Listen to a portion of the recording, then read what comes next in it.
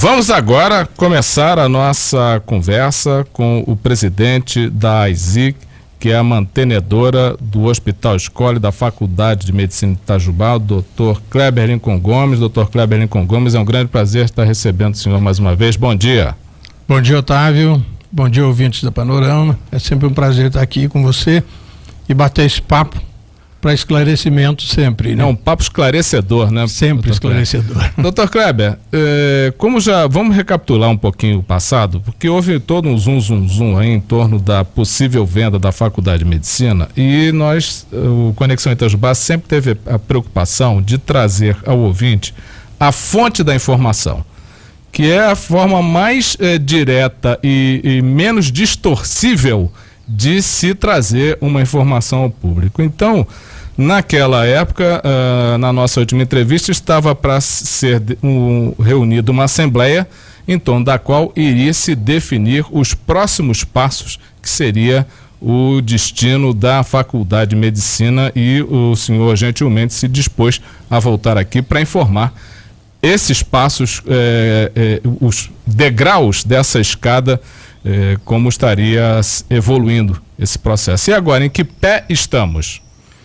Bom, agora, depois de todo esse trabalho de, de, de vários meses e, e desse período de, de, esclarecimento à população, alunos, professores eh, e associados, nós então convocamos a Assembleia Geral Extraordinária especificamente para aprovação no, de uma ata para aprovação de um processo de um processo de, de, de parceria com uma entidade educacional, que é a NRE Educacional, que é associada a um grupo de investimento, que é o Grupo Bozano, e sem esse passo, sem essa aprovação da Assembleia, não seria possível dar continuidade. Então foi feita essa Assembleia, é, ela transcorreu hum, normalmente, sem nenhum problema, foram feitos novos esclarecimentos, com a presença, inclusive, do, do Dr. Nicolau, que é o, o, o, o presidente da, da NRE Educacional. É o N da NRE. É, exatamente. e Então, nós colocamos em votação e obtivemos essa votação. Para votar qualquer coisa desse tipo na Assembleia, você precisa de dois terços de, de, de membros é, aprovando. E nós conseguimos uma nós tínhamos na, a presença de 60 é, associados, votantes, e foram 52 a favor e 8 contra. Então, foi aprovado o processo. É, na verdade, esse, essa aprovação é dando autonomia, autorizando a diretoria da ISI, junto com, com a faculdade e hospital escola, a, a tocarem para frente esse processo. Agora começa todo um trabalho de, de montagem de, de estatuto, de regulamentos, etc., etc., até chegar na assinatura do contrato. Tem que se construir uma, uma nova firma para assumir a manutenção da Faculdade de Medicina, é, depois a, a, a, venda de ações da ISI para o grupo NRE e aí a remontagem, o, o, o, início do trabalho no sentido de reestruturação do curso, reestruturação de, de, de, materiais, vai haver um investimento grande na Faculdade de Medicina, em termos de laboratórios, de, de, de, de quadros, de mesas, computadores, enfim. Vai, vai ser uma, uma mudança gradativa a partir da análise que o Grupo NRE, juntamente conosco, vai fazer, porque é uma administração compartilhada da, da AISI com o grupo NRE. Agora, doutor Kleber, eu lhe pergunto nesse momento, a, a NRE, que eh, experiência já tem eh, com outras instituições de ensino na área de saúde? É, então, é, eu acho que essa pergunta é muito importante, porque um dos, uma das é, é, questões que foram muito colocadas é que mudanças positivas isso traria para a Faculdade de Medicina de Itajubá, que é uma faculdade é, de excelência, com praticamente 50 anos de, de existência. Então, a, havia sempre um medo de que houvesse um risco nesse sentido. É por isso que nós trabalhamos no sentido de buscar uma parceria com um grupo educacional que tivesse larga experiência na área de formação de médicos, que é a nossa missão principal. Nós somos uma faculdade de medicina isolada, única do país, então nós precisávamos nos juntar a um grupo mais experiente e também a um grupo que, que está ligado a, a investidores para que a gente possa ter um crescimento a partir de agora, a partir desses 50 anos. É? E esse grupo, é, o NRE Educacional, ele já, ele já administra, ele já tem é, deles, é, juntamente com a Bozano, eles têm seis faculdades de medicina. Então eles têm uma larga experiência. Tem faculdade de medicina em São João del Rei, Patinga, Barbacena, é, Tocantins, Palmas e, se não me engano, também no, no Piauí. Então são seis faculdades de medicina. A Bozano, que é investidora, é uma investidora que está é, é, se preparando para dominar a formação de médico no país, médicos de excelência. Esse é o projeto, porque às vezes você fala ah, uma investidora, investidora quer só ganhar dinheiro. Não. O princípio de, deles, no sentido de saúde e formação de médicos, eles estão investindo em hospitais e estão investindo em faculdade de medicina, para que a gente tenha um ganho. É uma firma grande, é uma firma de muito poder econômico e eles não querem colocar no mercado médicos de baixa qualidade. Isso é uma grande preocupação. Sem dúvida. O, o doutor Kleber, então, o que acontece, no, na, na, verdade, não é a venda da faculdade de medicina, e, e sim a entrada de um parceiro especializado com fogo econômico que possa colocar a faculdade, eh, ajudar a faculdade a se atualizar se modernizar em relação a outras faculdades no país, que já estão avançadas, e até o próprio hospital, que conquistou é, é, avanços extraordinários nesses últimos anos. Sem dúvida. A, a meta principal em termos de transformação é exatamente na faculdade de medicina. Né? Em termos de, de, de a gente atingir um nível que nós não temos recurso hoje para atingir. As novas escolas todas estão num nível é, tecnológico muito alto né, que é uma necessidade é, é, à vista da, da, do grande desenvolvimento da medicina. Nós não podemos ficar formando médicos aqui com cuspe giz, quando eles chegam num, num, num, hospital grande aí, eles não têm isso, eles têm computadores, têm, têm é, instrumentos de, de, de, alta, de alta referência, né? Então, a Faculdade de Medicina deve ter um crescimento muito grande. E por que que não é venda? Porque é uma parceria de dois grupos que vão continuar trabalhando de uma maneira compartilhada. Nós temos a experiência da Faculdade de Medicina de Itajubá. Nós temos 50 anos de experiência. Eles têm experiência nas outras instituições. Então nós vamos juntar forças e vamos trabalhar para que o nosso curso tenha um crescimento elevado. Eu não tenho dúvida nenhuma de que o, haverá uma melhora muito grande no, no curso da, da Faculdade de Medicina de Itajubá. Não tenho dúvida nenhuma. Vai ser gradativo a gente considera tempo para que, que, se atinja um nível elevado um ciclo. Um ciclo significa uns seis anos da formação do médico. É verdade. Agora, só para só esclarecer aqui que essa pergunta do, da faculdade não foi vendida foi uma questão levantada por um ouvinte. Outra questão, doutor Kleber, essa uh, uh, não há um contrato assinado, ou seja, uh, pelo que eu entendi, há toda uma tramitação burocrática que, aliás, caracteriza o nosso país que é Sim. é burocracia extrema, até que possa haver esse, essa assinatura. Esse prazo, o senhor calcula em quanto tempo?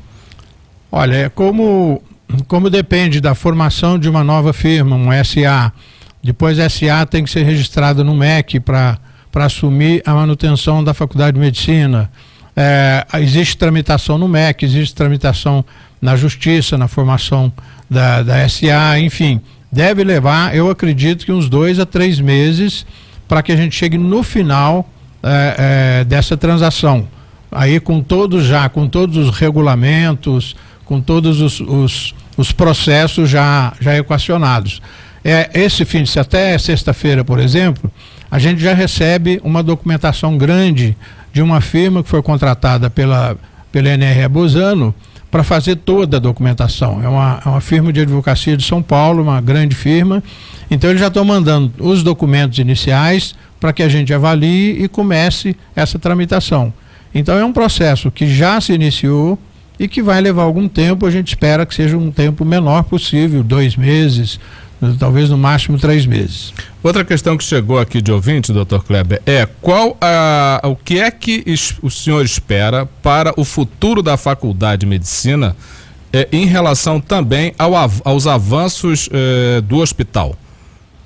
Olha, com, com, essa, com essa parceria, é, o hospital vai, vai receber alguns rendimentos que ele não recebia antes. A gente tinha um gasto muito grande com aluno, um gasto muito grande com professores, por ser um hospital escola, e vai continuar sendo um hospital escola, mas essas despesas passam a ser da nova instituição, da nova Faculdade de Medicina.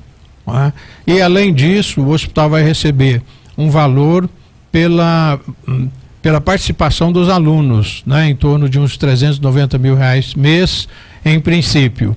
Além disso, como o prédio da Faculdade de Medicina não está sendo negociado, né, o prédio e, imóveis, nem imóvel, nem imóveis, nem imóveis, é, existe, vai existir um, um, um, aluguel de 150 mil reais que, nós, que a ISI também vai receber. Então esse é um dinheiro extra que vai entrar todo mês no hospital além da diminuição de despesa, um dinheiro extra que a gente pensa que o hospital pode melhorar também muito mais do que já melhorou. A outra questão de ouvinte, doutor, doutor Kleber, é o que a comunidade que se beneficia do hospital é, e dos serviços da faculdade pode ganhar com essa parceria? Veja bem, do hospital não há mudança nenhuma. O hospital é, já atingiu um nível de excelência vai continuar mantendo esse nível de excelência e até melhorando. Ainda faltam algumas coisas que a gente está tentando conseguir. Vai continuar servindo a comunidade e, e aos 15 municípios que, que a gente serve, não tem mudança absolutamente nenhuma. E com relação à Faculdade de Medicina, a mesma coisa. A, a inserção da Faculdade de Medicina na comunidade, ela é relativamente pequena. Né? Ela é na formação de médicos e muitos médicos acabam ficando por aqui. Então há uma melhoria muito grande nesse sentido. E isso vai continuar, não há diferença nenhuma. O hospital vai continuar evoluindo como tem evoluído, porque quando nós falamos Sim. da evolução do hospital, doutor Kleber, não se fala apenas dos serviços que ele está prestando, mas da capacitação de pessoas para executar esses serviços de excelência. Essa evolução vai continuar? Vai continuar. Hoje, por exemplo, nós buscamos profissionais fora de Itajubá para fazer determinadas é, é, determinados procedimentos de alta complexidade, né? de Pouso Alegre, do Einstein, é, de São Paulo, de outros hospitais, enfim. Gradativamente, nós estamos preparando o nosso pessoal para, com o tempo, poder assumir essas intervenções. Nós temos vários profissionais que já fazem estágio no Einstein, fazem estágio em outros grandes hospitais, é, para que depois eles possam assumir. Isso é um processo natural, tanto em relação a professores, que nós vamos ter condição de, de, de dar mestrado e doutorado para eles, aqui em Itajubá, dentro da Faculdade de Medicina, como o hospital está formando gradativamente um nível de profissionais para atuar nas áreas de excelência que nós já atingimos. Né? É, é, esse domingo foi feito o décimo transplante de fígado, que é uma coisa que a gente está tá avançando muito. No ano que vem, provavelmente, a gente começa com o transplante de medula né, e de peles de um modo geral. Então, essa evolução continua e deve, deve existir a, a passos largos. Outra questão que chegou de ouvinte, doutor Kleber, é sobre se isso, essa fusão, essa parceria, ela vai eh, modificar ou, ou, aprimorar, otimizar o trabalho do pronto-socorro, do hospital. Não, não tem relação nenhuma. Nenhuma. Tem relação nenhuma. O pronto-socorro, é, é bom sempre lembrar que o pronto-socorro é responsabilidade do município, do poder público, não é responsabilidade do hospital. Né? E o, o pronto-socorro, ele, ele dá muito prejuízo. É claro que diminuindo o prejuízo do pronto-socorro, a tendência do hospital é melhorar. Por exemplo, a gente precisa fazer uma reforma nesse pronto-socorro. E com certeza, no momento, não dá para fazer essa reforma. Não é só questão econômica, é questão também do volume de pacientes que estão lá. Nós não conseguimos parar aquilo para poder fazer uma reforma. Então, deve haver melhora no pronto-socorro, do ponto de vista é, técnico, tecnológico, de profissionais e tal, mas ele vai continuar da mesma maneira porque o volume de, de, de pacientes que a gente atende é muito grande. Outra questão, doutor Kleber, é a NRE sendo uma já sendo um núcleo de eh, educação na área de saúde, onde outras escolas já estão envolvidas, eh, pode fazer com que a Faculdade de Medicina é, venha participar de uma rede de faculdade de medicina e nessa troca de experiência trazer a evolução do, do, do serviço de saúde aqui para Itajubá e para a região? Olha, automaticamente nós já vamos participar da rede da, da NRE Bozano. Né? Nós vamos estar compartilhando com eles. É, a nossa faculdade vai estar dentro do contexto deles. Então, tudo que acontecer, eles têm uma administração central em Belo Horizonte. Então, toda a administração vai se colocar lá e vai haver uma distribuição para as escolas de acordo com a região, onde ela é muito diferente, a Faculdade de Medicina de Itajubá e a Faculdade de Medicina de Palmas, por exemplo. Uma cultura diferente, é, incidência de doença diferente. Então, vai havendo adaptações, mas nós vamos estar junto com essa rede. Perfeito. Doutor Cleber, mais alguma coisa? Não, é, é, eu vou ter que voltar aqui mais lá para frente, quando a gente tiver dados já mais concretos do ponto de vista de, de da formação da, da, nova empresa e como é que isso está andando e as mudanças que porventura vão, vão estar ocorrendo gradativamente. Doutor Kleber Nicon Gomes, foi um grande prazer recebê-lo aqui. Olha, parabéns aí por esse trabalho e é, sucesso aí nos próximos passos burocráticos que. Muito obrigado. e um Muito abraço obrigado. ao meu nosso amigo Capaciúde, que deve estar tá já com, perdendo os cabelos com tanta burocracia que tem pela dúvida. frente aí. Não, mas nós vamos conseguir. A gente tem um, um pensamento muito positivo porque nós lidamos com uma coisa muito séria e o nosso pessoal, nossos profissionais são de um nível extremamente dedicados e sérios. Muito obrigado a você pela oportunidade. Conversamos aqui com o Dr. Kleber Lincoln Gomes, que é o presidente da AISI, a mantenedora do Hospital Escola da Faculdade de Medicina, prestando esses esclarecimentos em relação a essa nova parceria que a Faculdade de Medicina está formando com a NRE.